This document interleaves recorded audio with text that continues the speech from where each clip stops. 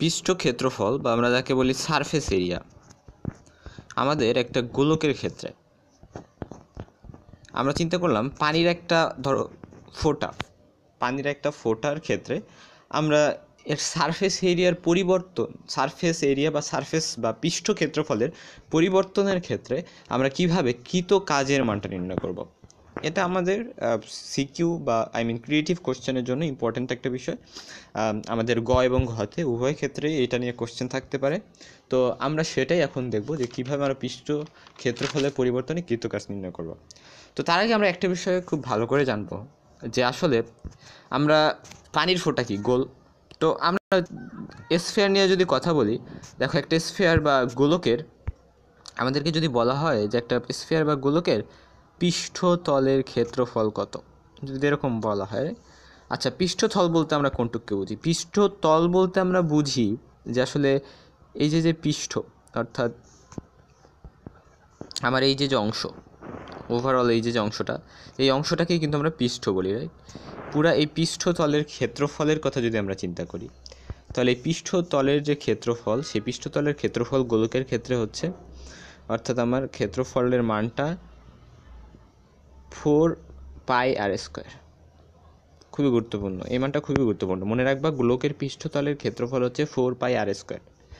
এবং আমরা যখন চিন্তা করব যে গোলককে আমরা যদি মাঝ বরাবর কাটি, অর্থাৎ আমরা যদি এরকম একটা স্ট্রাকচার বানাই, আমরা গোলককে মাঝ বরাবর কাটছি, গোলককে যখন আমরা মাঝ বরাবর কাটি, তখন আমরা যদি চিন্তা করি যে এর পৃষ্ঠের ক্ষেত্রফল কত, যদি আমাদেরকে বলা হয় টোটাল ক্ষেত্রফল কত তাহলে এর টোটাল যে এরিয়া হবে সারফেস এরিয়া সারফেস এরিয়া তাহলে সেটা হবে কত?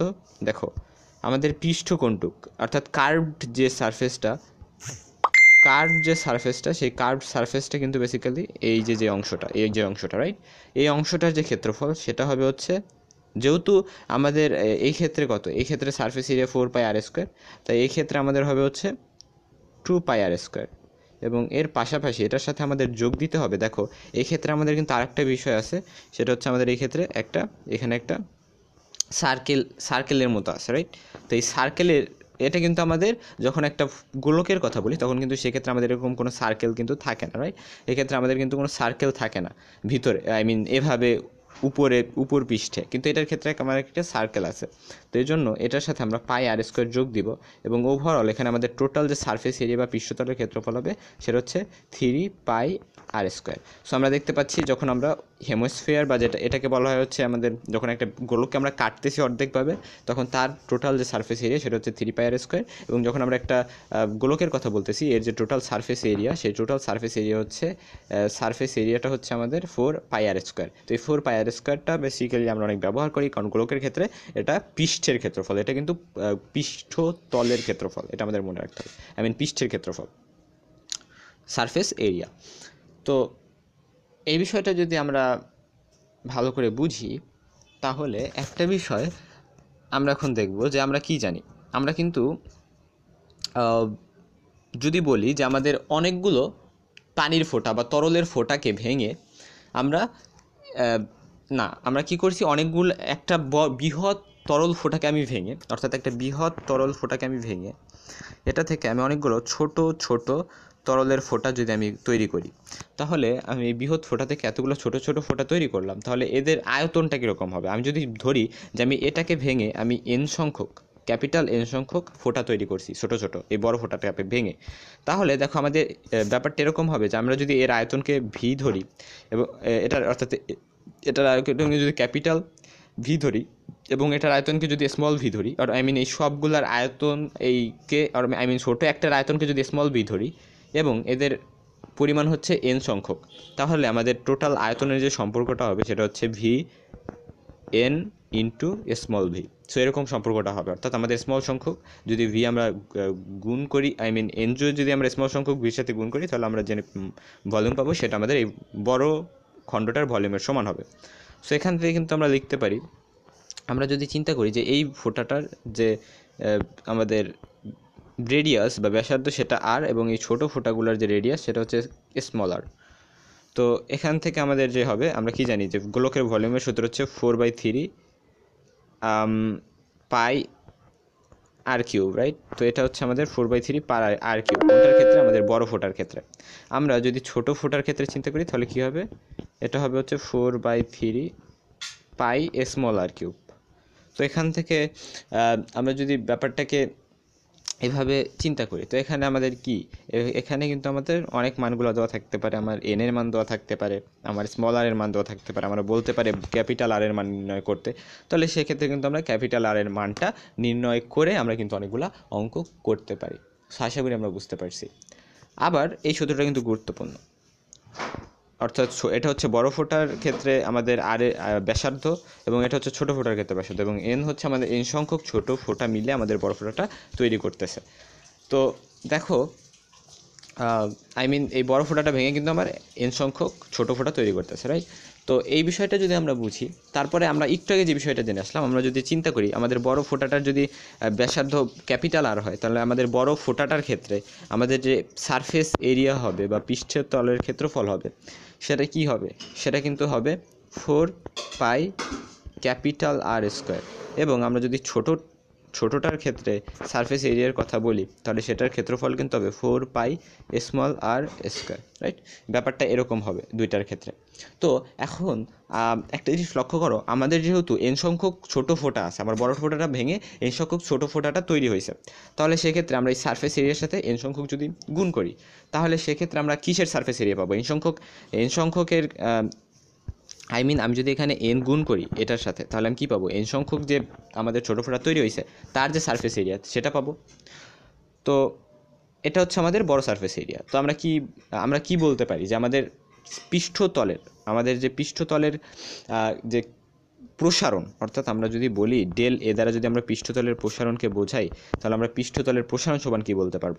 যে আমরা পৃষ্ঠতলের প্রসারণ সমান বলতে পারব এইটা রাইট এইটা বিয়োগ আমরা যদি দিব হচ্ছে এইটা। অর্থাৎ এইটার বিয়োগ যদি আমরা এইটা দিই তাহলে কিন্তু সেক্ষেত্রে আমরা পৃষ্ঠতলের প্রসারণ পাবো।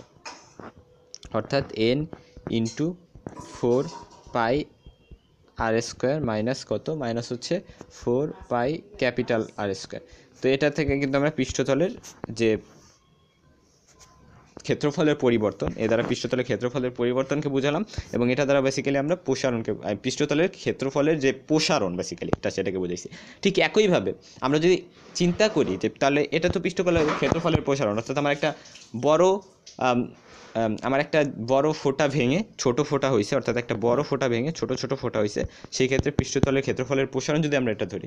একইভাবে আমরা যদি চিন্তা করি যে পৃষ্ঠতলের ক্ষেত্রফলের যে সংকোচন, সেই ক্ষেত্রেও কিন্তু আমার ব্যাপারটা ঠিক এরকমই হবে। সেই ক্ষেত্রে আমার ব্যাপারটা এরকমই হবে। অর্থাৎ আমরা যদি ধরি যে ক্ষুদ্র ক্ষুদ্র ফোঁটা মিলে আমার বড় ফোঁটা তৈরি করছে, তাহলে সেক্ষেত্রেও কিন্তু বেসিক্যালি আমাদের পৃষ্ঠতলের ক্ষেত্রফলের সংকোচন এরকম হবে। অর্থাৎ পৃষ্ঠতলের ক্ষেত্রফলের যে সংকোচন এবং পৃষ্ঠতলের ক্ষেত্রফলের যে প্রসারণ অর্থাৎ টোটাল যে পরিবর্তনটা সেটা সর্ব আই মিন সংকোচন ও প্রসারণ হোক একই থাকবে।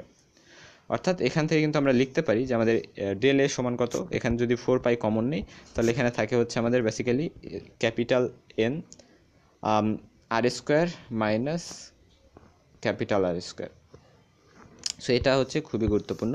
আমাদের ডেল এর মান হচ্ছে এত, অর্থাৎ ক্ষেত্রফলের যে আমাদের পরিবর্তন ক্ষেত্রফলের যে সংকোচন বা প্রসারণ আমরা বলতে পারি, এটা এত। তো একটা জিনিস ভালো করে লক্ষ্য করো, আমরা কি জানছিলাম যে সারফেস এনার্জি এবং সারফেস টেনশন হচ্ছে সমান। এটা কিন্তু আমরা খুবই ভালো করে জানছিলাম। তো দেখো আমরা সারফেস এনার্জি সমান কি জানছিলাম? ডাব্লিউ বাই ডেল এ অর্থাৎ প্রতি একক ক্ষেত্রফল বৃদ্ধির জন্য। প্রতি একক ক্ষেত্রফল বৃদ্ধির জন্য বা পরিবর্তনের জন্য আমার যতটুকু কাজ সম্পাদিত হয় বা যতটুকু স্থিতিশক্তি জমা হয় তাকে আমরা সার্ফেস এনার্জি বলি। তো এটা সমান আমরা কি বলতে পারি? এটা সমান টি তো এখান থেকে আমরা কিন্তু লিখতেই পারি যে আমাদের ওয়ার্ক ডান হচ্ছে টি ডেল এ খুবই গুরুত্বপূর্ণ। দেখো টি ডেল এ টি মানে কি? সারফেস টেনশন অর্থাৎ পৃষ্ঠ টান। তো এখানে এ আমরা এ এর মান কত পাইছি? এর মান এত পাইছি তো আমরা এটা যদি বসাই দিই তাহলে ওয়ার্ক ডান কত পাবো? ওয়ার্ক ডান পাবো হচ্ছে আমাদের আম, ভালো করে লক্ষ্য করো। Four pi N r square minus r square into T. So এটা হচ্ছে বেসিক্যালি আমাদের সূত্র, খুবই গুরুত্বপূর্ণ। আর মানে কি? আর মানে হচ্ছে ছোটো ফোটার যে ব্যাসার্ধ এবং ক্যাপিটাল আর মানে হচ্ছে আমাদের বড় ফোটার যে ব্যাসার্ধ। এবং এটা বেসিক্যালি হচ্ছে আমাদের যে ক্ষেত্রে আমরা চিন্তা করব যে আমাদের পৃষ্ঠতলের পৃষ্ঠতলের যে ক্ষেত্রফল পৃষ্ঠতলে, দেখো, এটা হচ্ছে আমাদের পৃষ্ঠতলের যে ক্ষেত্রফল। সেই পৃষ্ঠতলের ক্ষেত্রফলের যে পরিবর্তন, সেই পরিবর্তনটা ক্ষেত্রে আমরা কীভাবে ওয়ার্ক ডান নির্ণয় করব সেটা আমরা পাইলাম। কিন্তু একটা গুরুত্বপূর্ণ বিষয় এখানে আমাদের যেটা উল্লেখযোগ্য সেটা হচ্ছে এই সূত্রটা আমাদের কেবল কোন ক্ষেত্রে প্রযোজ্য? যে ক্ষেত্রে আমরা নিরেট গোলকের কথা বলব। আমরা নিরেট একটা গোলক- গোলকের কথা বলতেছি। আমরা পানির ফোটার কথা বলতে পারি।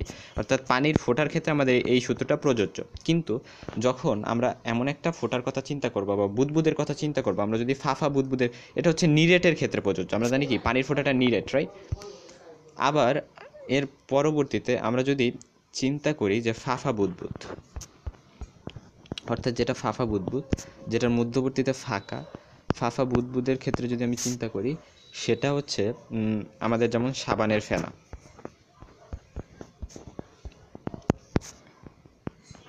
সাবানের ফেনা। তো এই সাবানের ফাফা বুদবুদের ক্ষেত্রে আমাদের সূত্রটাতে কি হবে? কারণ কি আমরা জানি ফাফা বুদ- বুদবুদের হচ্ছে দুইটা সারফেস থাকে। আমাদের বই যেমন এক পাশ এবং পিছে আরেক পাশ থাকে ঠিক এব- একইভাবে আমাদের ফাফা বুদবুদে দুইটা সারফেস থাকে। যেহেতু দুইটা সারফেস থাকে তাই সেক্ষেত্রে আমাদের যে ওয়ার্ক ডান হবে সেটা হচ্ছে টু ইনটু আমরা যেই সূত্রটা গত পূর্বে লিখছি তাই হবে। অর্থাৎ আমাদের জাস্ট টুটা গুণ দিতে হবে। অর্থাৎ ফোর পাই আমাদের এখানে কি লিখব? ফোর পাই, অর্থাৎ এক্ষেত্রে কিন্তু আমাদের জাস্ট টুটা গুণ হবে। এটা খুবই গুরুত্বপূর্ণ যে আমরা কি করব? টুটা গুণ করব এবং যেহেতু এন সংখ্যক, তাই আমরা কি করব? N r square minus capital R square এবং এখানে কিন্তু টি সাথে গুণ থাকবে রাইট তো এটা হচ্ছে বেসিক্যালি আমাদের ওয়ার্ক ডান যখন আমরা কিসের কথা বলব? যখন আমরা চিন্তা করব যে আসলে আমাদের বুটবুটটা ফাফা। অর্থাৎ আমাদের ফোটাটা বা বিষয়টা হচ্ছে ফাফা একটা গোল আকার স্ফেয়ার যেটার ভিতরে ফাফা, যেমন আমাদের সাবানের ফেনার কথা আমরা বলতে পারি, সাবানের বুদবুদের, ফাফা বুদবুদের কথা আমরা বলতে পারি।